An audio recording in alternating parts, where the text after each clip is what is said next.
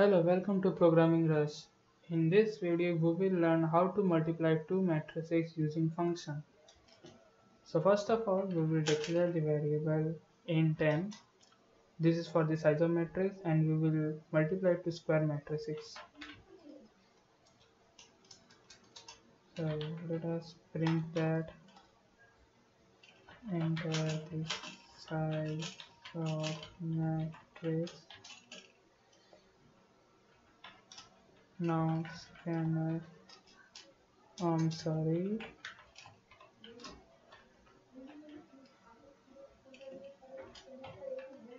And now we will declare the matrices so int m1 the first matrix and then the m2 second matrix uh, and then the rest matrix.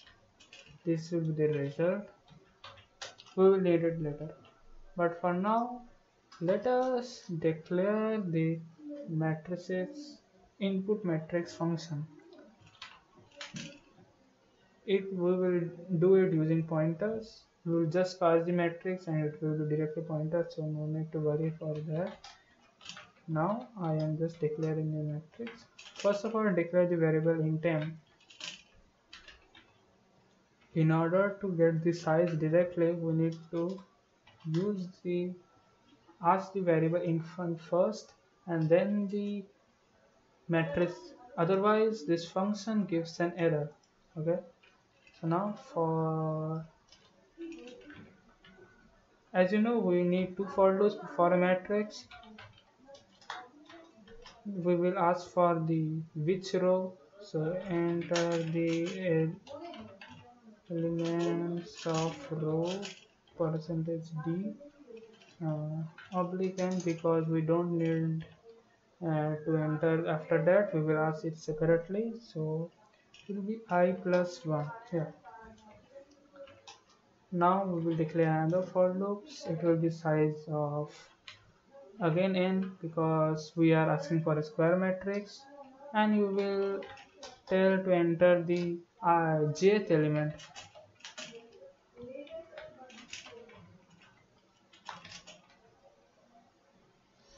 Uh, it will be j plus 1 and scanf percentage.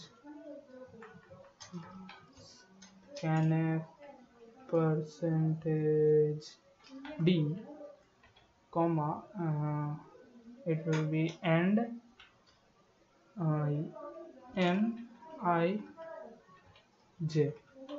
Okay? So we declared the input matrix.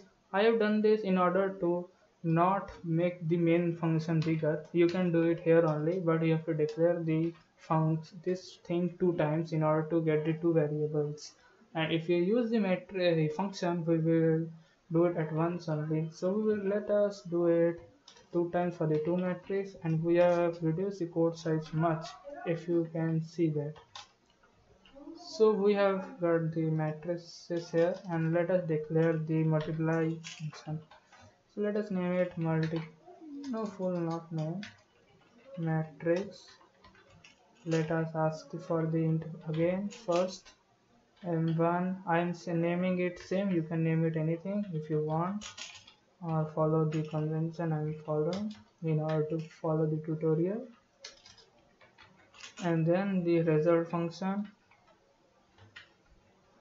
I am naming it same because to improve the readability I need to declare the three for loops and I will let you know that why I need the three why I need the three functions, uh, three for loops. This for a special reason that if you know the formula of uh, multiplication of matrix, we proceed by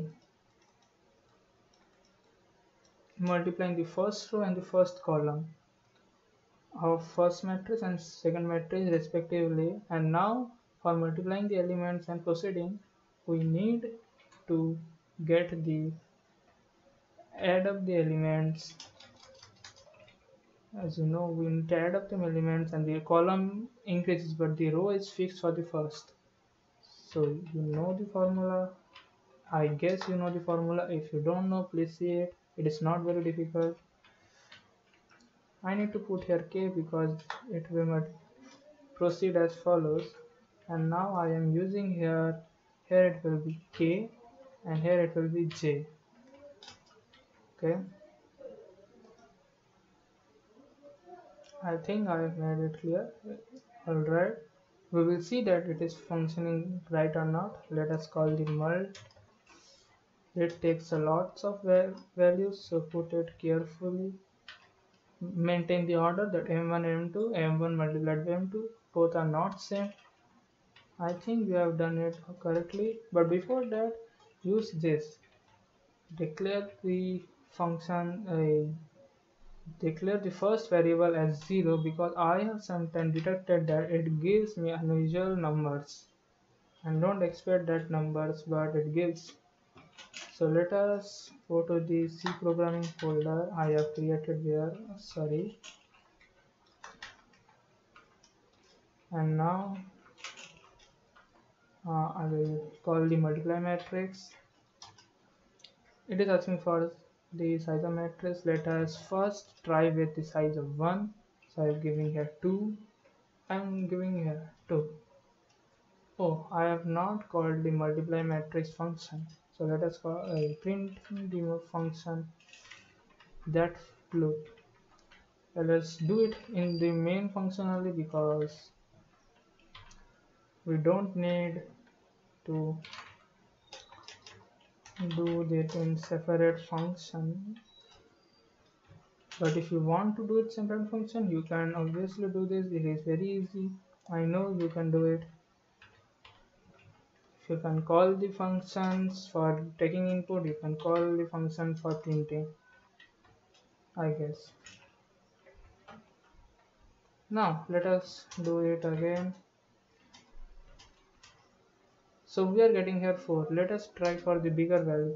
So 2 if 1 for the row 1 1 2 2 1 2 3 4 so here we are getting uh, something unusual value 4200605 so I have, as I have said it sometimes gives wrong values. I don't know why.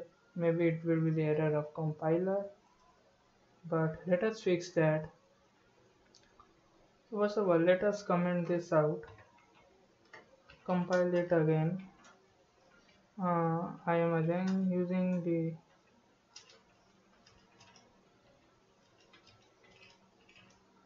so it is always giving the third column as such a big number.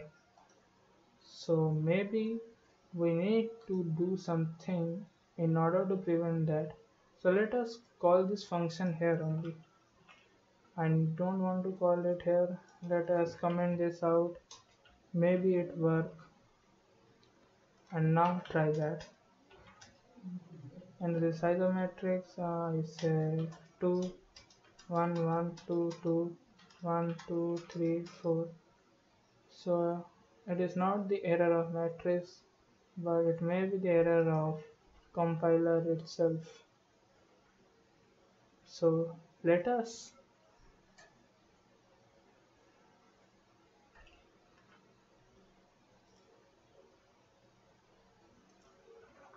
so to solve this problem of giving an unknown value I have initialized each and the first element of each row to be 0.